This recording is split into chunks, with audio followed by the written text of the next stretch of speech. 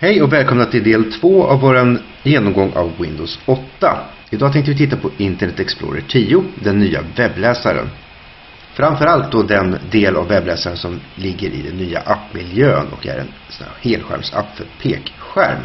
Det finns nämligen en helt vanlig, inom citationstecken, eh, Internet Explorer 10 också. Som man hittar om man går till eh, skrivbordet och klickar på ikonen för den som helt, helt som vanligt. Här ser det ut som vi är vana vid. Fönster, adressrad här uppe, tabbar där, meny som man brukar se dem. Men vi lämnar den tills vidare och går tillbaks till den här. Som alltså är den nya Internet Explorer-appen för pekskärm framförallt. Nu har vi ingen pekskärm här utan vi styr det med mus och tangentbord men det funkar också riktigt bra måste jag säga. Först vi ser att det ser lite annorlunda ut. Adressraden ligger här nere istället för här uppe. Vi har vanliga knapparna här så man behöver eh, inställningar. Här kan man eh, lägga bokmärken, favoriter och ladda om och eh, stoppa laddningar och så vidare. Precis som vanligt. Eh, tabbar ser det inte ut som vi har några alls men det kommer faktiskt om man högerklickar mitt på skärmen så dyker de upp här uppe och ser väldigt mycket större och tydligare ut än vad de gör i skrivbordsversionen. Tanken är att man ska kladda med eh, fingrarna på sin pekskärm för att göra det här. och Då man det vara lite större och lite tydligare. Lägga till en ny tab. Så dyker det här upp.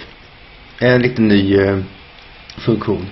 Det är egentligen inte alls en ny funktion utan det är det som dykt upp tidigare om du klickat på en litet, liten ikon här på ditt adressfält i eh, Internet Explorer och i de flesta webbläsare. Helt enkelt en lista med de senaste adresserna du har besökt och även eh, dina favoriter, dina bokmärken. Nu har vi inte så många här, men vi kan tänka oss att det kan bli en ganska lång lista efter ett tag.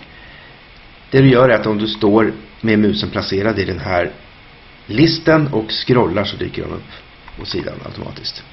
På en eh, pekskärm tar man, tar man tag i den här listan och drar den åt sidan. En sak till som vi ska titta på här är att om man går in på en sida, går in på Hotmail i det här fallet. Så kan man trycka på Pin Site. Finns det två varianter. Det ena är Add to Favorites.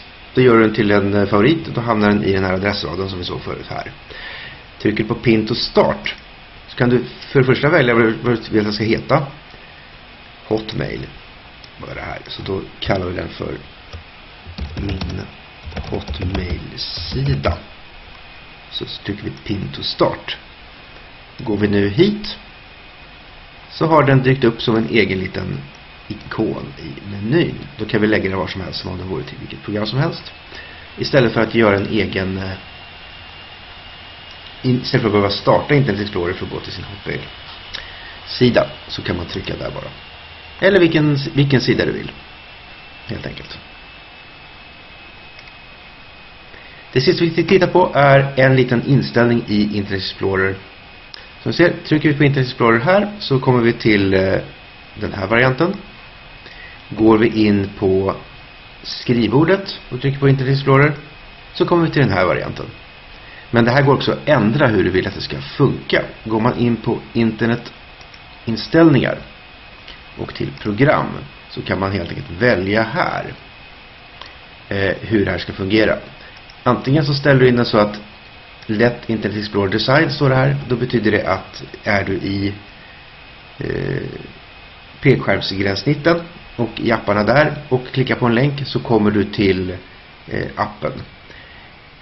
Eh, klickar du på en länk eh, i ett annat program på skrivbordet här. Säg om du kör Office eller något liknande och du har en länk där eller en pdf eller liknande så dyker den upp så är det den här programmet som dyker upp istället.